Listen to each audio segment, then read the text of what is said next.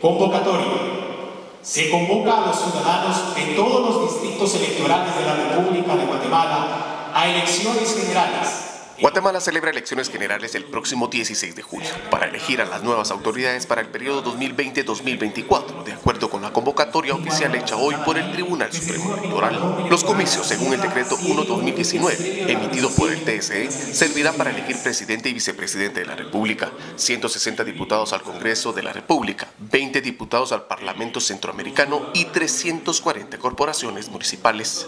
El ente rector de esta fiesta cívica ha establecido que el 11 de agosto próximo, como fecha para una eventual segunda vuelta, en caso de que ninguno de los candidatos a la primera magistratura logre el 50% más uno de los votos válidos emitidos en el proceso del 16 de junio.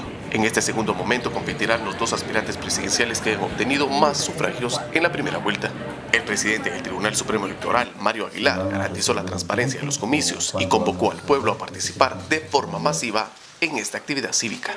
Cualquier proceso democrático debe descansar en la plena libertad de elección, participación, fiscalización de la sociedad, sin que ello implique que deje de ser elecciones libres.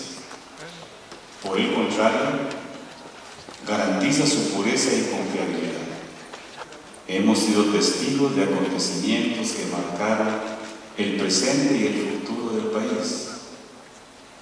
Vimos cómo el sistema de partidos políticos necesitaba con urgencia una transformación profunda o se corría el riesgo de colapsar como proyecto de nación.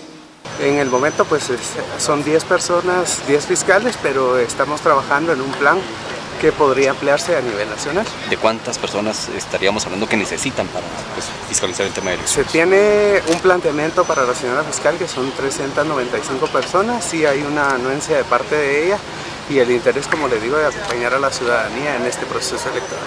En el decreto de convocatoria también quedó establecido que por primera vez los guatemaltecos radicados en Estados Unidos podrán votar para elegir únicamente presidente y vicepresidente a través del sufragio por la vía electrónica.